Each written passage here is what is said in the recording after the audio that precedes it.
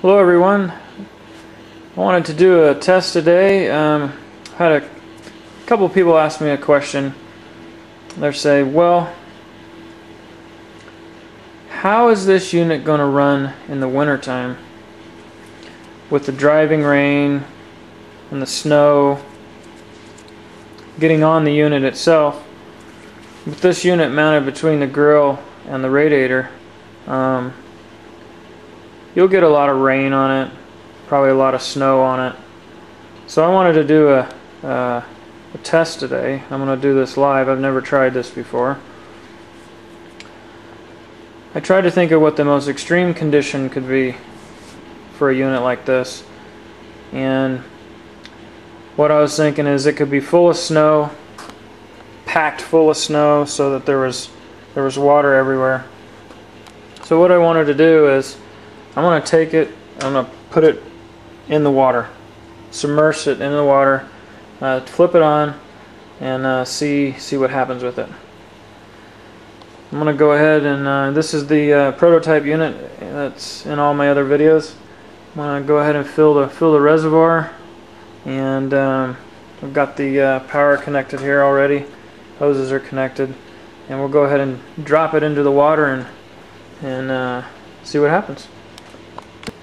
I think one of the things I wanted to really see is if I would get any shorting, if the unit will short out or not.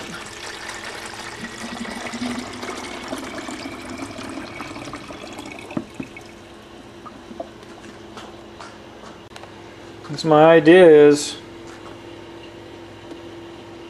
with the water here on the plates that'll create some kind of short. So that's what we're going to do in the test today.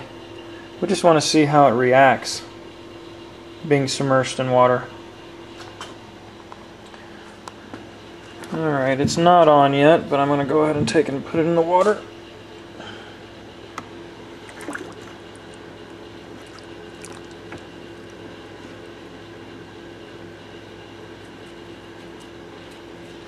Alright. Got my amp meter. I'll go ahead and clamp it on. What kind of amps we're pulling.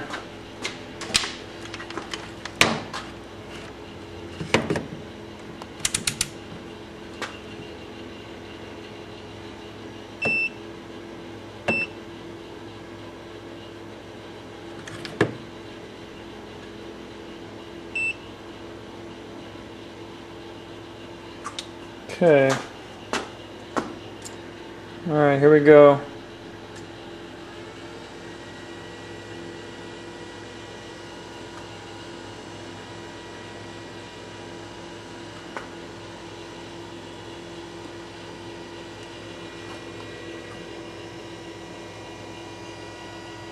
Can see what it looks like to be a little bit of electrolysis happening here.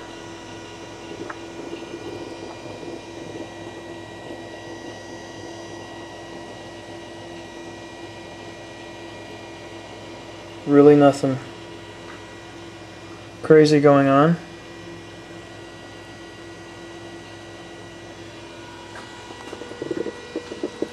And the unit is producing, it's bubbling away, so um, and it's uh, let's see, we've got it's pulling about 13 amps, 13.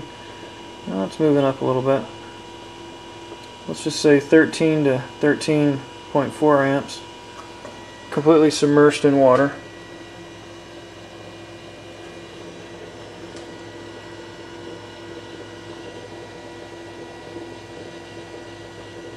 So this is my idea what would happen if the unit was completely packed full of snow, water, uh, harsh conditions. As you can see, it has no adverse effects on the cell at all. 13 amps.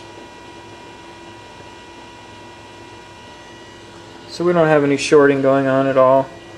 Um, unit seems to be running fine.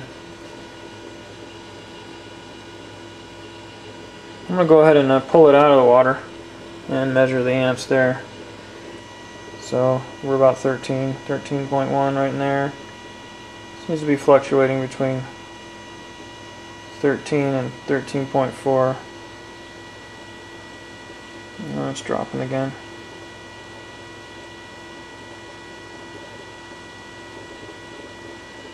Alright, we'll pull it out of the water.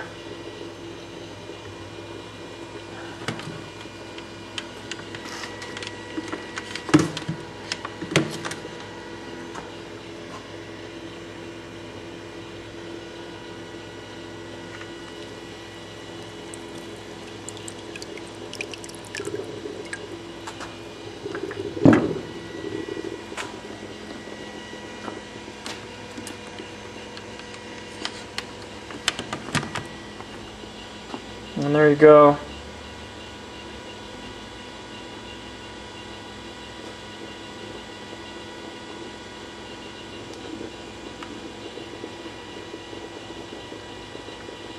Right back up into the 13, 13 amp range.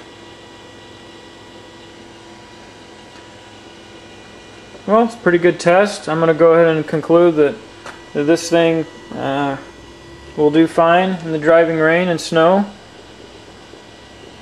Um, if you have any questions or comments on this video, please uh, uh, go ahead and ask. Uh, I'll try and answer everyone's questions. Uh, thanks for watching.